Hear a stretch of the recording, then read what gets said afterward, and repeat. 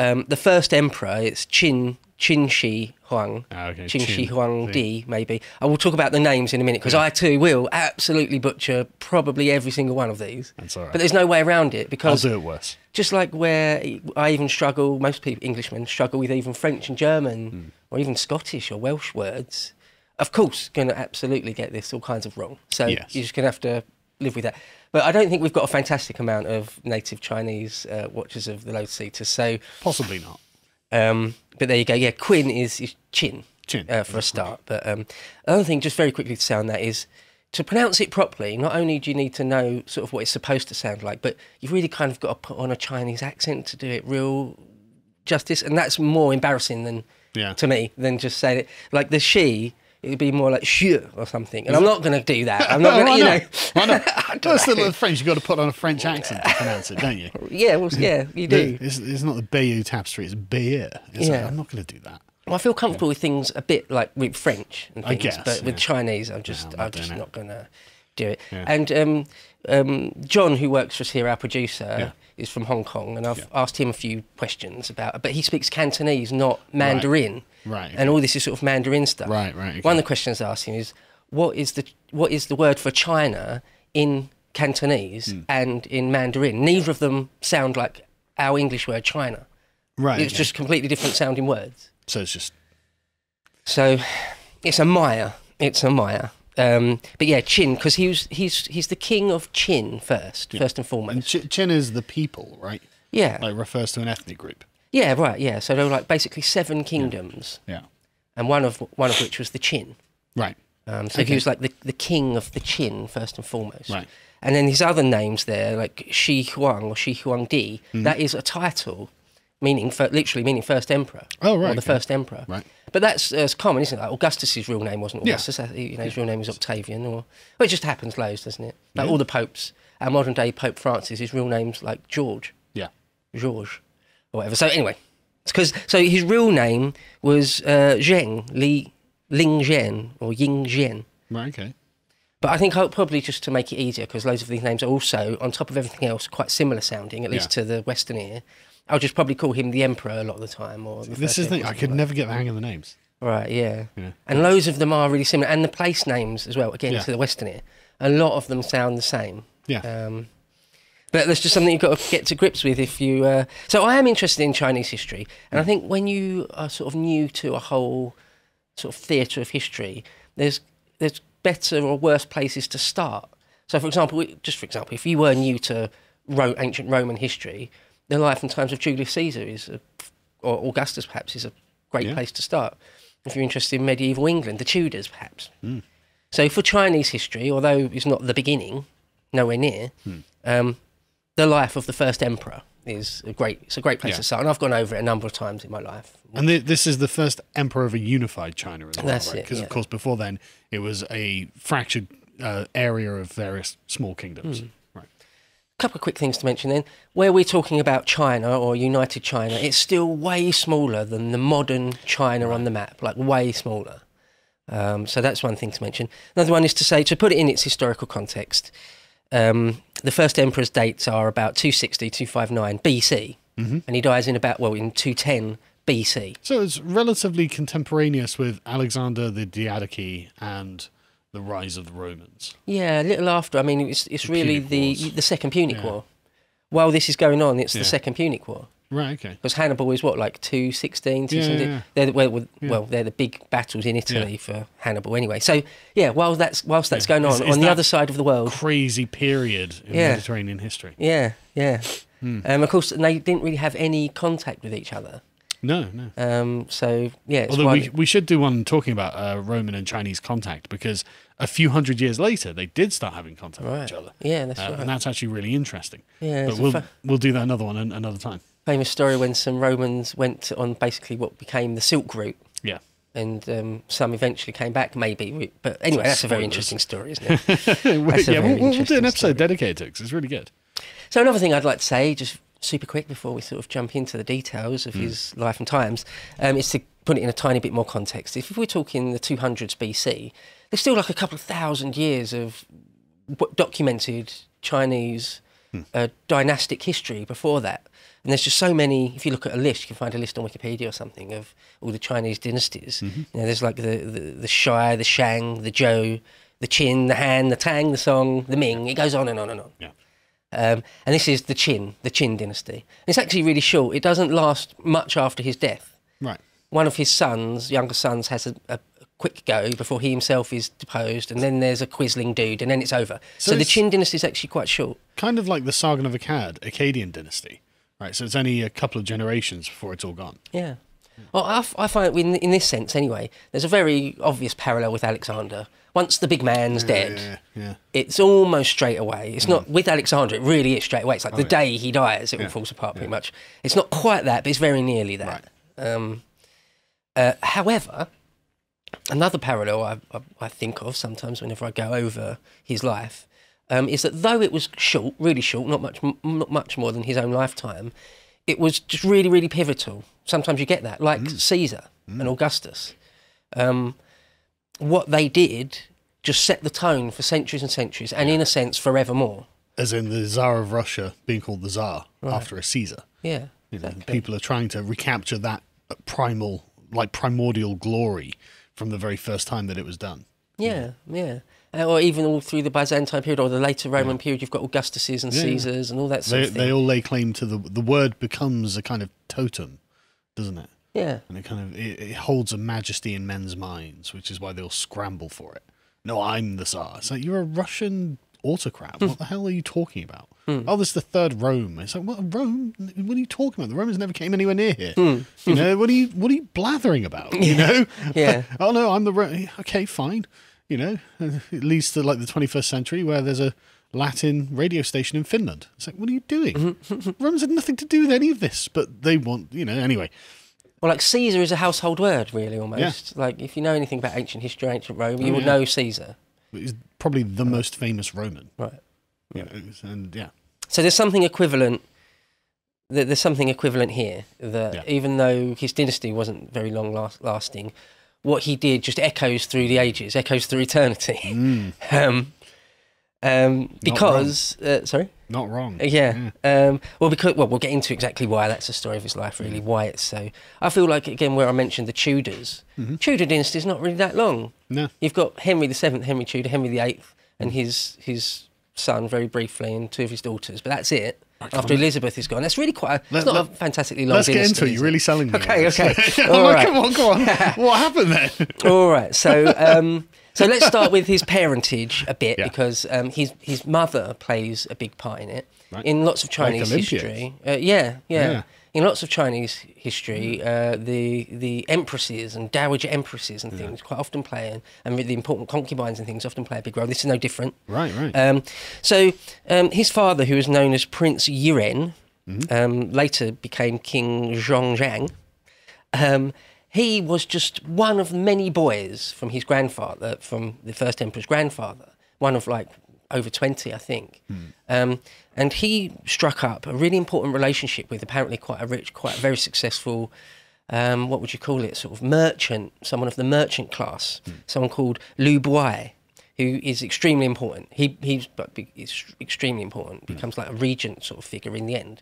Anyway, this Lu Buwei um, helps him ascend to the throne because the grandfather actually only reigns for something silly like three days before he's himself assassinated. There's so many assassinations God. in at this time in China. Byzantine politics. um, Yeah, really, really. Uh, Well, that goes on all through the Three Kingdoms period, which is arguably probably one of China's most famous ancient periods, which is a couple of hundred years after this. So still in in antiquity, like the 180s, 200s AD, is sort of the Three Kingdoms period. Uh, but even even in this period, there's just everyone's backstabbing everyone and undercutting and all sorts of things constantly. Um, It's interesting that that roughly analogous to like Roman civil wars as well. You know, Hmm. like Constantine and various people like that. You know, it's like strange how these parallels keep coming around. One of the ones I have in my mind is um, is Charlemagne. Mm. He reminds me of Charlemagne because Charlemagne had um, again sort of a massive empire he built for himself, Mm. and it falls apart pretty much on his death. Yeah. And um, yeah, Charlemagne for me is a parallel, although you know it's like a thousand years later, or Mm. Yeah. not, and on the other side of the world. But there you go, power's power. It sort of plays out in similar ways all the time. Yeah, it is the kind of natural forces of governorship, governorship that we're looking at, isn't it? That's you know how these things play out. There's a predictable pattern that you can look for. Yeah, yeah, yeah, absolutely. Um, so this Lu Buwei seems to be sort of an eminence grise or a power behind the throne or something. He's sort of, um, um, I hesitate to say kingmaker, but some, Schema. yeah, a great schemer. Yeah. Um, and and he Sort gets Varys. yeah. he gets the Prince uh, Yiren to the throne of, of, of Qin. So I'll put a map up so everyone can see. And there's sort of seven of these kingdoms, for want of a better word. And the most powerful ones are the Chu, the Qin, and the Zhao. Um, they're sort of the, the three biggest and the three most powerful. Um, and we've had they've had a long period of battling amongst themselves, where for like a couple of hundred years before this, where no one kingdom has been able to really get the full upper hand. Um, and um, and the first emperor's mother, Lady Zhao, is is from from Zhao. and at one point, when he's a very very little boy, almost a baby, really, the first emperor is in inverted commas a hostage there. But you know, Yeah, but ancient hostages, Yeah. not the same thing. kept quite well, but apparently not in the lap of luxury or anything, Oh, because he does harbour resentments, which play out later. Hmm. Uh, but still, not you know, not kept in a cell Yeah. or anything like that. Um, okay, but the, this uh, uh, Lady Zhao, or sort of you could call her sort of a, a dowager queen Zhao later, Mm-hmm. um, because at first she was a concubine just of the Lu Buwei chap. Apparently, she was Oh, really? ridiculously attractive. Yeah. like a Helen of Troy type. You know, everyone agreed she was one of the most beautiful women women you could ever see with your eyes. And was, so, uh, what was Justinian's wife, Theodora? Was it? um, Justinian, yes, yes, Theodora, Yeah, yeah, yeah, yeah. she was supposed to be. Yeah. like, just Got to be careful of these remarkably attractive women who end up in powerful places. Just saying. Yeah. Well, it's a it's a great or terrible combination Yeah. to be where everyone when you're undeniably Yeah. beautiful and if you're uh, ruthless as well, ambitious and ruthless and beautiful, can quite often be a recipe for Mm. great success and or disaster. Anyway, the, uh, the the Queen Dowager Zhao seems to have been that because she was Liu Bai's sort of concubine in the first instance, but then when the, the king, the father of the first emperor, sort of sees her, he immediately wants to marry her and just does Yeah. And she's pregnant sort of immediately or already. So this is one of the things. Is the first emperor, you know, is Qin Shi Huangdi the legitimate son of a king and a queen, or was he the illegitimate son of the of the Lu Buwei character? Right. And the sources suggest it. Some say he just definitely was, and some say that's just a dirty rumor. Yeah, but Right. obviously we don't know. So I'd like to pause uh, ever so quickly here and mention the sources because it is important, especially for real history nerds. At least a couple, one minute at least, just to say the main sources really on this because it's so far back, 200 BC is a long, long time ago. There's only a couple of great sources.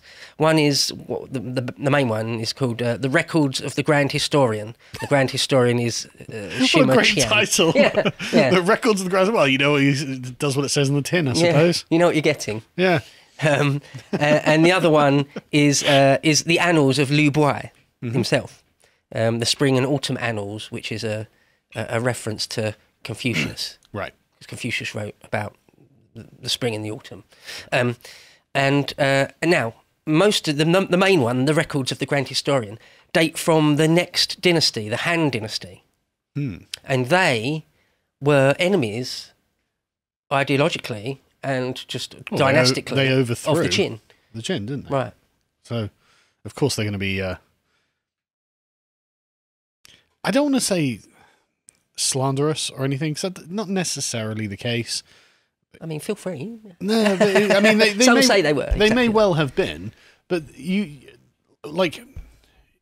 It's easy to say, well, because they overthrew them, they must have despised them and done everything they could to uh, talk them down. It's like maybe, but like you know, if it's written like a hundred years after the event, maybe you don't need to do that. You know, maybe actually hmm. there's no particular threat of that dynasty coming back because they were all exterminated or something. Hmm. And so, do you need to? You know, who knows? I don't. I don't hmm. know. You know, it's it's just it's not a necessary connection. You know, it could be. It might not be. It's a fair point, and modern scholars, historians, do argue about exactly that. Um, they think that well, um, the first emperor was categorically not a not a devotee of Confucius, and the Han really were. Right. So they think when we get to it, um, the the theme of Confucius and Confucianism, they think that almost certainly um, the later Han are casting shadow over Right. the chin, Yeah. but on a lot of it probably not. And then of course we've got the archaeology. And the archaeology does seem to back up loads of what's said in the records of the Grand Historian Okay, well, like um, the the um, the terracotta army. That is the first emperor's Hmm. Oh, really? burial place. Oh, That right, is okay. him. That's Right. very cool. We'll get to that at the very end. See, this is just my my my particular weird canard of being like, actually, I don't think everyone who wrote everything things down in history was a gigantic liar. Uh, I, I weirdly I feel the need to extend a kind of compassion to them and be like, well, look, maybe they were trying to do their best. Actually, you know, maybe they weren't just evil Machiavellian schemers who are like, no, I'm going to make history think this person was terrible for all time. You know, uh, maybe they were just trying to do their best. I mean, you don't know. Yeah. Well, just to back you up on that particular point, the terracotta army wasn't really discovered, unearthed, Hmm. until sort of the 1970s. And until then, most scholars apparently had said um, that, Oh, this is a lie. Yeah, they It's didn't. They, they didn't bury a whole army of clay and bronze, f- fake men, and then and then it's the archaeology is Yeah. it's there. It really is there. Yeah, it's just mean spirited to be like, no, because we haven't found it, you're a liar. Mm, Yeah.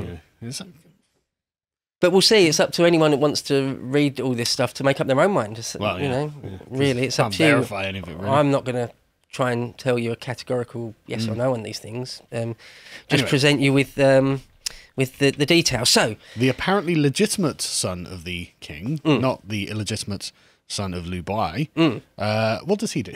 so the father dies. Um, I think Which natural father? causes. Oh, sorry, king, right. The king, yeah. Um, king it's very much Prince Harry situation, this, isn't it? Yeah, yeah, yeah. Everyone's like, oh, yeah, he's definitely your son, but he does look a lot like Lu Bai.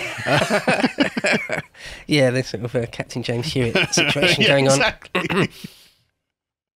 Um, he only has about three years on the throne himself, and then he's, he dies. Yep. And so the first emperor, um, King Zhen, really, Mm-hmm. um, ascends to the throne, and he's only like 13 years old. Mm. Uh, which, although you grew up quicker in the ancient world, um, you had to, still 13 is quite young. Yeah. So Lu Bois uh, becomes sort of a, a chancellor, a prime minister, a Regent, regent, some sort, yeah. something like that. And his mother is also sort of super powerful, Hmm. Um, the Dowager Queen, um, until he can sort of really start taking the reins fully for himself. Yeah. Um, okay, so in about the year 235 BC, um, so he's like, uh, well, it's by the time by the time he's about 20 odd, um, there's some sort of formal process where he's entirely got the, the, the cockpit of power, if you like, is entirely in, in his hands.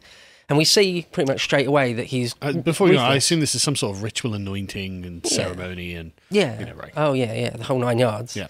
Yeah. Um, in that meantime, um, the Dowager Queen has become sort of a political. Um, a, a problem for Lu Bai politically. a liability. Yeah, a liability. Um, so he fobs her off on on uh, uh, apparently a eunuch. What did she do? Well, she's just a sort of uh, an endless schemer. Oh, right, okay. Yeah. Again, that might be a trope. Um, you know, quite often it happens. That is a trope in history, isn't it? That, that But quite often it's a trope for a reason. Right. And he doesn't really want Liu Bai doesn't really want the the rumours that he's Yeah. he's sort of uh, cuckolded the, the old king in any sort of way. yeah. Um, so he sort of fobs her off with uh, a, a character called uh, Lao Ai. It becomes important in the first little stage of the first emperor's life, and he was um, a apparently a eunuch.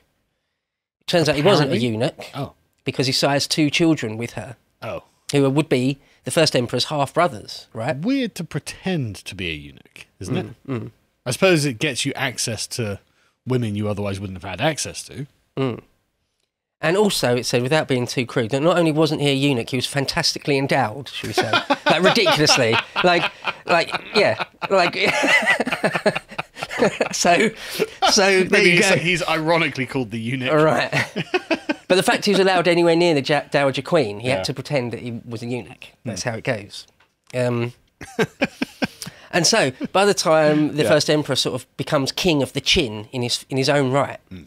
um, he realizes, and he's he is ruthless. He's absolutely ruthless. There's no two ways about that. Um, he decides he just needs to kind of get rid of everyone that sort of could even kind of possibly undermine him in any way. And it seems that uh, Lao Ai, his mother's lover, stroke eunuch, um, is going to be in the way. stroke Yeah, eunuch. I know. Yeah, it's ridiculous, it? Um, Yeah, go on. that he's going to be in the way, and he finds out. Wait, what? They've got they've got two illegitimate sons together, little kids, um, like Oh, you know, five years going. old, eight years old, or whatever. Mm. And and so Lao Ai realizes that he's probably going to get executed, so he sort of pulls the triggers first and tries to start a rebellion Oh, right, okay. because he figures, you know, when you're painted against, in, uh, into a corner, Well, I mean, it's sort of his only this young king is going to kill you and your children. almost certainly. Yeah. So apparently, the the story was he forges some documents saying that he can command a, a, a small part of the army. Right. Raises this small part of the army and tries to march on the imperial palace in Qin. Uh, but the first emperor himself hears of this, and um, it doesn't really come to anything. Right. And uh, Lao Ai is executed disgustingly. The thing of uh, tying ropes around both your arms and legs and round your neck, and then tied to horses, Yeah. and they run in different directions. So, yeah, gross. That can't have been pleasant. And he has every single member of Lao Ai's family killed, and the, and the two boys, the two little boys, strangled. I, kn- I knew it was going to be horrible. Apparently, one of the stories just had a slightly more horrible twist to it. Apparently, before anyone realised exactly what he was going to do, he got the two boys. He had an audience with these two boys, and he said, "If you were king, just imagine, if you were king, do you think you'd make a good king?" And the little kid, the older of the two little kids, said, "Like, yeah, I think I'd make a good king." Apparently, that just seals their fate in his mind. So yeah, he has them killed, strangled with silk or something like that, something Right. classically Chinese. Yeah. As for his own mother, Lady Zhao, um, he exiles her. He just exiles her. Okay. Could have He- been worse. Apparently, he was perfectly within his rights to have her killed if he wanted to, but he did actually draw the line there. I mean, he's the king. I mean, there doesn't seem to be any limit on his power. N- No, no, there really isn't. So, No. yeah. It's funny, actually, just just to say there, for example, somebody like Caesar or Augustus, mm. there's all sorts of moral limits on their power, mm. isn't there? Mm. Like, you don't wear red boots. That's beyond the pale. I didn't a- even know about that. As a like, yeah. So the kings of Rome, the old kings of Rome, like Tarquinius, would wear red boots. oh, right. One time okay, Caesar right, was right. seen wearing red boots, and everyone was like, "Oh my god, you can't! Oh my god, he king. thinks He's he's, going to be a king.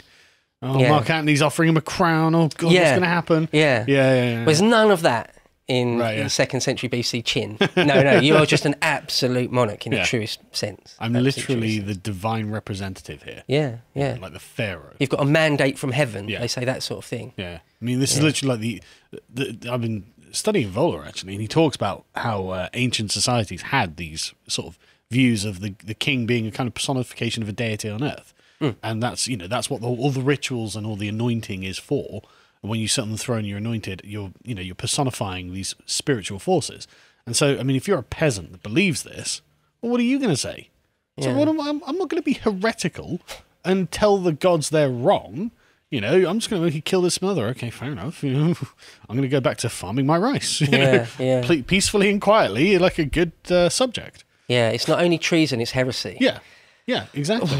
it's not only treason; it's heresy. Yeah, that's and- above my pay grade, I'm Yeah, afraid. exactly, exactly. The king is enforcing divine laws. You know, it's not my business. You know, Mm, yeah. I'm just farming my pigs. You know. and so this uh, um, Lu Boi, who's Yeah. been sort of the power behind the throne in all sorts of ways for a generation or Mm. so, he's implicated in all this as well. No kidding. on some level. Um, but because he is, if not if not the first emperor's father, at least he's a type of surrogate father anyway. And so he has um, the first emperor does have uh, some pity on him and only exiles him. And apparently that really was being clement. Um, but what he does is uh, within a couple of years, he, uh, he paints him into a corner where he commits suicide right. and his own mother also. In fact, I've heard a couple of different things about the fate of his own mother, that Lady Zhao. Some say she lived for years and years and years before she died. And others say I think that she uh, was dead within a couple of years as well, just because she sort of just politically needed to be out of the way. Her story needed to end. But anyway, they don't really make a massive reappearance on the scene of his, on the stage of history after that point. But where that um, Lu Boi is now out of the picture, um, the the first emperor needs sort of another chancellor type, prime minister type, second in command person. need someone to do the min, uh, ministerial work. Right, yeah. Um, and so it, it was Liu Bai's second in command, his protege, that takes up the reins. And here's a character called Li Su. Uh, just uh, a before we go on, I just can't help but think of the just terrifying existence these people seem to have. Like mm. constant paranoia and backstabbing and threat of being just brutally executed and your whole family being brutally executed is just constantly every single day on the table so you have got to make sure that you put every foot completely securely in the right place or else boom oh no you've you've tripped wired something. And now the emperor's mad and now he's having you killed and everyone you know killed. And you know, and and the emperor's got sat there going, right, if I I could kill him, but if I kill him, I mean, maybe this guy will kill me in my sleep. So everyone is living with this fundamental substratum of total insecurity about their own existence. Yeah. Like what a horrible, like Byzantine court politics, you know. Uh, like, and everyone's thinking, well, look, all I have to do is kill the emperor, and then I've got all the power, you know. And it's oh God, what a terrifying world this is. Yeah, sword of Damocles over nearly everyone's head at all times. Yeah, yeah, yeah, and Yeah. A a horrible very way to sharp live. sword of Damocles as well. I don't know how I, I wouldn't be able to really live under that sort of I pressure. yeah, I wouldn't just don't to. think I would. I wouldn't want it. I'd be like, Yeah. I'll just go and Diocletian style farm my cabbages. You know, thanks. You know, you guys enjoy the court politics. Mm. I'm not, not my business. You know, It's funny you should take a moment out to say that because this uh, Li Su, or Li Su, really, does he it- scheme and plot? does he? Yes. What a He- shock! He becomes well. He outlives the first emperor, Right, right, and the the next little bit of the Qin dynasty um, is bound up with him. right, And he's sort of an arch. If anyone's holding the sword of Damocles over nearly anyone's head, it's him. right. Okay. What a what a surprise! How did Uh, yeah. I know? He's uh, arguably the well, he's sort of the most important figure Right. other than the emperor himself. This this this Li Su. Hmm. Um, and so yeah, he becomes um, well, yeah, in all but name, the most powerful, in other than the emperor himself, the most powerful man in the Hmm. kingdom. To watch the full video, please become a premium member at lotuseaters.com.